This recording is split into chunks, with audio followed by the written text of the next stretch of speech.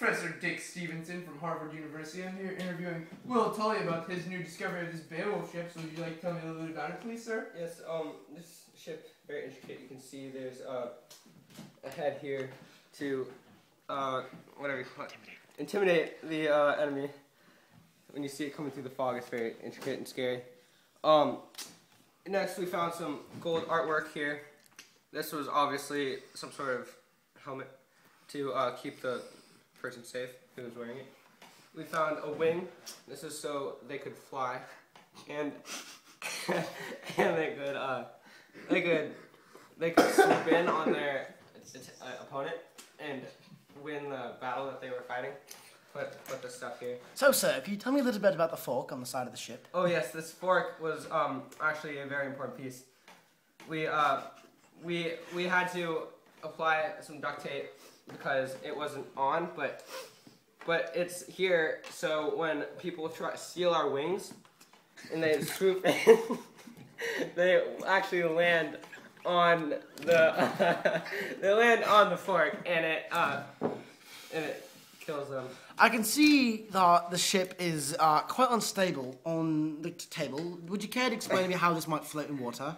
In water, it is very stable. It's actually uh, these, as you can see, these um, sails. Very sturdy, very sturdy. Yes, they're uh, they actually hold the wind quite nicely because they are, in fact, made out of the material.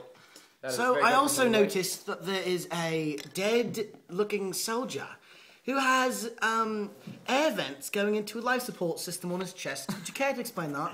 Yes. So, um, in the early days of mankind, we were actually very advanced, Ah, and okay. um, they needed air because, as you can see, this person has no cheeks, so Ah. he cannot breathe very well because he doesn't have any cheeks. okay. All right, Mr. Tully. Uh, so would you like to tell me more about the uh, geometric figures around the boat? And can you care to Yes. explain a little bit about Yes, this? so you can see if you split this piece into three sections, here, here, so there's here, here, there. Um, this is a kind of a rectangle kind of shape. Absolutely. Yes, um, that helped with stability a little bit. There's a kind of triangle triangle piece here. It helped with uh, kind of momentum in the water. It also helped with angular velocity. Absolutely. Yes, and uh, you can see it can go backwards as fast as it can go forwards. Symmetrical. And I see the battering ram on the top to smash down castle walls. Oh, definitely, definitely. So what they would do is they would get lots of speed and crash into things with this. Mm-hmm.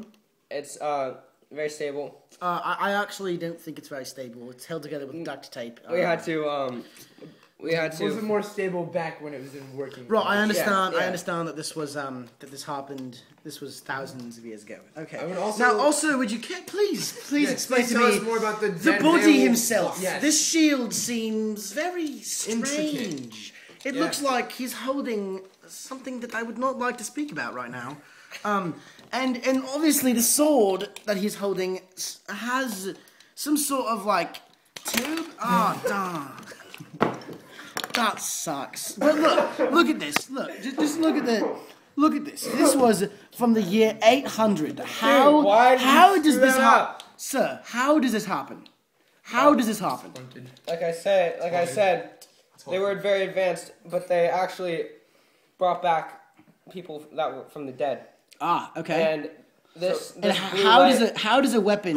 Why would you want to revive someone with a killing machine? What is the logic well- behind that? Well, this blue light, as you can see, it uh, it slowly starts and it gets faster and faster, and that is the soul of some of Beowulf's family, Ah, most okay. likely Cain. Most Beowulf was not related to Cain, sir. yeah, he is. No, he is. that was Grendel and his mother. Grendel. Yeah, that's totally what I meant. Now, do you think? Would do you you like think tell that? me more about the armor, please? Sir, no, sir, sir. This ship is horrible. Now, ca- sir, do you think that this might be Grendel's head? No, that's uh, obviously not his head. This was Grendel's the mother. That- geometric shapes imply that it is not.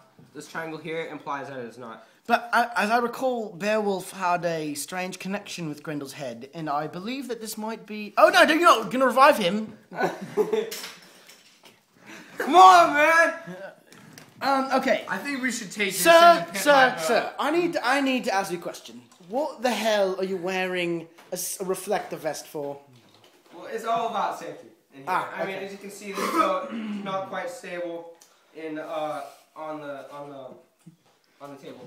So And uh, actually, this Dick. actually is supports ah, supports- okay, okay. support. And I see this is very reflective. Um, Yes, Now, Dick, running- I understand you were on the expedition team that found uh, the ship while you were on a hunt for Sasquatch. I Did you also notice that Sasquatch had um, reflective elements Yes, of his body? yes, I think this is a real I'm not in any way How do you- to Sasquatch. So, Yes, that sir, seems sir, like a very sir. safe person. Okay, okay. So I say- think we need to take this boat in to pimp my boat. I think we need to as well.